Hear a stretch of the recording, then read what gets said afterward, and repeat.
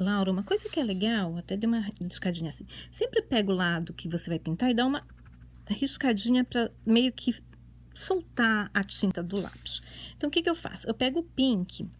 Se você vai pintar uma pele clara, você vai fazer o seguinte: você vai pegar o pink e você vai dar um contornozinho aqui, tá? Bem suave, mão de, de, de fada, tá, Laura? Assim, bem suave, só para fazer um, dá a volta aqui no rostinho, você não fecha embaixo, deixa o espacinho aqui, tá? Ó, você vem aqui, você começa com o rosa mais escuro, tá? Porque a pele clara, geralmente ela tem um tom rosado. Vamos na mãozinha também. Dando um A gente vai só... Como é uma imagem muito pequena, eu entendo aquilo que você falou, às vezes é um pouco mais difícil de pintar. Mas ok, a gente vai indo. Que outra coisa que você precisa entender que pinturas são camadas. Você sabe disso, mas eu vou falar como se você não soubesse, tá? Porque eu não sei o quanto que você sabe ou não.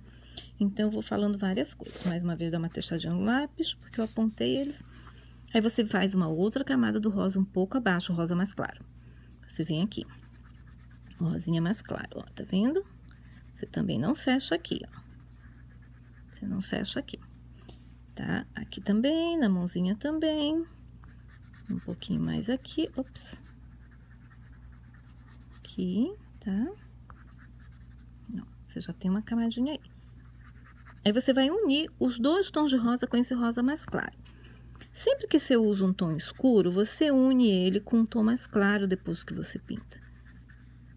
Ele fica um pouco mais homogêneo, percebe? Ó, aí você vem aqui, tá? Ok, tá fazendo a uniãozinha das cores. Opa, na mãozinha. A mãozinha é bem difícil de pintar. Aí, a gente vem para um outro, que é o Light Peach. A gente vem uma camadinha abaixo. A gente tá clareando esse rostinho, tá? Ó, a gente percebe como ele tem um tom diferente, escuro, mais claro, mais claro? Vamos lá. Tá aqui. Também eu não fecho aqui embaixo. Eu sempre, depois eu fecho com mais claro. Mas não quero fechar com escuro rosa, senão parece que é uma carinha muito fechada, né? E não é essa a ideia. Aí, eu vim aqui com mais clarinho, ó. Preenchendo aqui. deixo sempre um espacinho mais claro no meio. Agora, eu vou preenchendo tudo, ó. Passando por cima. Lápis de cor, a gente precisa fazer um pouquinho mais de força para criar essa homogeneidade. Nas canetinhas, a gente não precisa de tanto, né? Ups, desculpa sair daqui do... Tá? Aqui, aqui. Aqui também, vamos na mãozinha. Essa mãozinha é punk. Pensa na mãozinha pequena, gente. Peraí. A gente tá dando um tomzinho já, né? Ok. Ó, o rostinho como já tá. A gente une. Esse, essa é uma dica super valiosa. A gente sempre unir as cores que a gente pintou. A gente pintou em camada, né? A gente pintou uma camada, outra camada, outra camada. Imagina que aqui são três cores. Depois a gente vem e une elas. Entendeu? Ok, vamos lá. Aqui, ó. Tá. Aí, o que que acontece? Eu vou pegar o cream, tá? Ele é um tonzinho meio amareladinho, assim, bem clarinho, ó. O que que acontece? Ah, porque a pele vai ficar amarelada? Na verdade, eu não quero ela muito rosa, então eu venho passo, posso passar ele por cima de tudo aqui, ó.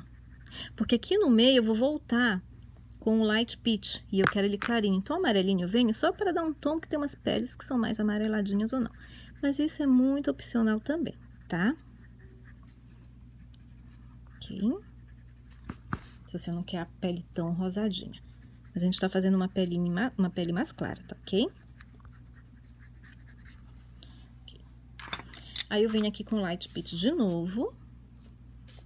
Light peach. E eu venho e fecho aqui, ó bem manchada, porque eu quero deixar um pouco mais clara aqui no meio.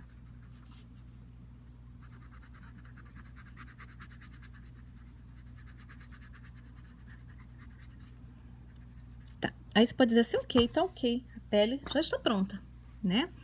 Na câmera ela parece um pouco mais é, forte a cor do que eu, o que eu estou vendo aqui. Tem aqui, opa, desculpa, tem o peach, Vamos ver, ele tem um tom um pouco mais escuro. Ah, eu não quero tom rosa, então você pode vir aqui com um tom um pouco mais escuro, você passa por cima de onde você tava com rosa, ó. Porque você não quer uma pele tão rosa assim, tá? Você vem, você vem dando sempre começa com a mão de fada bem levezinha, porque você não sabe o quanto de cor você quer pôr na imagem. Você ainda não tem muita certeza, você tá só fazendo o seu teste aqui, né? Ele não é um tom muito, muito escuro, então, tá vendo? O, o peach, né? Ó, tá vendo aqui? Cadê? Ó, ele não é um tom muito escuro, então ele, ele chega um tom de pele, ó, como fica bem bonito. Aí a gente vê, ok, gostei. Aí você vem, passa por cima de tudo. Bem suavemente, reforçando onde tá mais escuro. Tá? Eles falam, ok, mas eu quero um tom um pouco mais escuro nessa pele. Vamos ao chocolate. A gente faz a mesma coisa, só que a gente não vai cobrir o rosto todo. A gente vai só vir aqui para aprofundar, dar uma sombra entre o cabelo e o rosto, como se o o, o cabelo estivesse fazendo uma sombra no rosto, tá? Eu vou apontar um pouquinho mais esse lápis, porque eu não tô gostando dessa ponta muito grossa para o que a gente vai fazer. Então, vamos lá. Um pouquinho mais. Beleza. Vamos tirar o excesso aqui dele. Ai, Laura, ele quebrou. Então, peraí. Ele quebrou, mas eu não quero ter que apontar de novo, não. Depois eu aponto ele. Eu vou aqui com ele quebradinho por agora, porque eu quero te mostrar. A gente não vai usar muito dele. Eu venho só aqui, ó. Gente, é horrível quando a gente aponta e quebra. Ó, Laura, vem bem devagarzinho, bem rente ao cabelinho. Porque você só quer aprofundar, como se você estivesse dando realmente a sombra. Como se não, você tá dando a sombra, tá? Olha como é facinho. Você vem aqui bem rentinho ao cabelo, tá? Aqui, ó.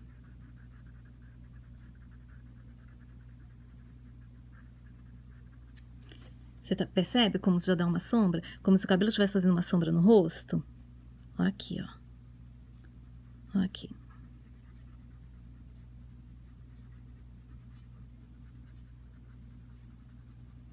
Tá? Aí essa sombra é muito ao seu gosto. No final, a gente retoca aquilo que a gente quer mais de sombra. A princípio, é só para a gente começar a nossa pintura. O que não significa que ela está acabada. Eu, no final, sempre olho e falo assim, ah, eu quero mais coisas. Aí eu vou dando retoque. No pescocinho, você escolhe um lado para dar sombra. Tá? Quando ela tá com a cabecinha mais para esse lado aqui, né? Aí você imagina que tem uma sombrinha aqui embaixo no pescoço. Gente, que pescoço minúsculo. Aí você vem com marrom, ó. Muito mão de fada, você vem aqui embaixo do pescoço. Cuidado para não pegar no rosto.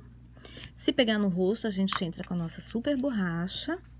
Bem com a pontinha, que pegou só um pouquinho, você vem e você muito suavemente tira, porque lápis de cor tem essa facilidade. Aí você vem na mãozinha também, embaixo da manguinha, como se a manga estivesse fazendo sombra sobre a mão. Então, a sombra vem aqui, ó.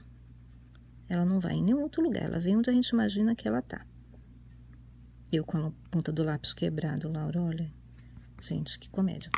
Aí eu digo, ok, mas aí eu quero tornar um pouquinho mais homogêneo. Eu venho de novo com pitch e eu quero misturar esse marrom aqui, porque eu não gosto de deixar, às vezes, muito marcado, não. Eu posso fazer a mesma coisa aqui, ó. Tá vendo? Aí eu deixo essa sombra mais suave. Olha que delícia.